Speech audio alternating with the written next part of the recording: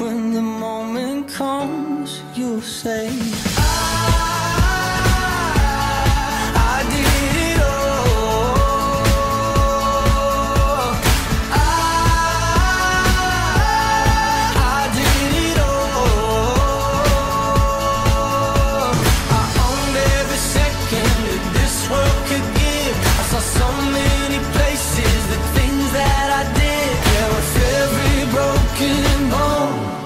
Swear I lived.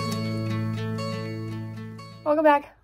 I want to talk about where I've been, what I've been up to, even though I really don't want to talk about it. I am sick, so please ignore that. I apologize for the stuffiness. As this entire channel knows, I was shipped out for the Navy on August 5th. I was separated for passing out for anxiety and dehydration, severe dehydration. I was in the hospital for a week for it. I was put into separation. I think it was the 4th of October. I was sent home. I've never been more relieved in my life. I'll maybe go into detail in another video about that.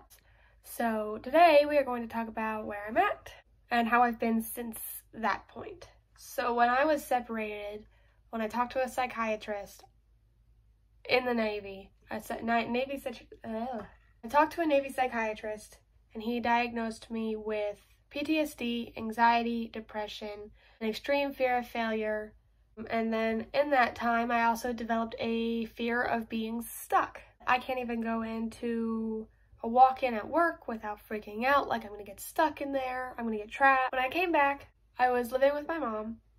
My current roommate that I have now got separated about two days after I did. She came home and needed to get out of a situation that she was in because she didn't like where she was at. So she came up here. My family was very resentful of her at first because she kind of just shut up. But we live together now in my grandmother's house. We have a little apartment in her basement. This is my old room where I lived with my grandmother the first time that I kind of just chill up here when I need my space from her because we work together as well, which is a lot on us to live together and work together. But my mom did not want her living with us, so I ended up moving out of my mom's. We lived with my dad for a while where I worked at FedEx for the peak season. After looking and looking, I went through like five jobs trying to find a job to settle down again. Because Sheetz would not hire me back, I contacted my boss many times and she said she'd get back to me and she never did, so I gave up on that one. I was with FedEx for peak season and then when I moved out of my dad's house, I also had twist or sprained my wrist off the truck because it threw me forward and I didn't have my seatbelt on and my wrist went like weirdly like this and I just couldn't jump anymore. I couldn't do it. I didn't have enough free time for myself. It just wasn't for me. So I ended up going to work for a hometown market. We ended up moving in with my grandmother around the same time that I went to work for the hometown market. And I was there up until about two months ago. And I was in college for my special education teaching. I feel like I'm rambling way too fast about what's going on. But anyway, as of about two months ago, my boss and I had a falling out. I did not agree with what she was trying to have me do. I was a manager there. I held a key. I locked the door at night. I pretty much threw my keys on my desk, on her desk, and I left.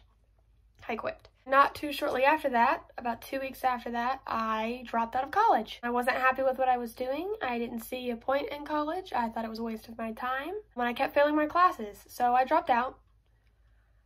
And now, it's been about a month, two months later, I work for Jimmy John's. I've never loved my job more in my life. I love everyone I work with. I don't have a single problem with anybody. As of last week, I am now in cosmetology. I have started a cosmetology program, the Ward Beauty School, and I have never felt happier in my life. My depression's all in all getting better. My anxiety is still really bad. I still struggle with PTSD and my fears of failure and being trapped in small places and places in general. But I'm happy, and I haven't been this happy in a long time because of everything I've gone through, and COVID has just made everything a whole lot worse. But I made it. I am where I am. Channel will probably turn into a beauty channel where I'll start talking about the things I learned in beauty school, what I'm doing. I might make a video going into detail about what happened with me in boot camp and, you know, separations, what separations was like, but I may not be comfortable with that for a while. I haven't really had the motivation or the strength to try and make a YouTube video in general because I'm kind of nervous about it now when I wasn't before. I feel like I'm missing something with what's going on in my life, but that's pretty much it.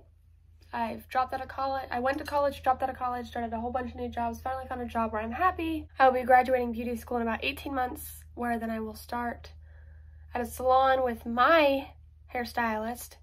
Um, or at least that's the plan. That's what I'm hoping for. Life only goes up from there, hopefully. So, see you guys next time. Looking at each other, there's no way that it's not going there.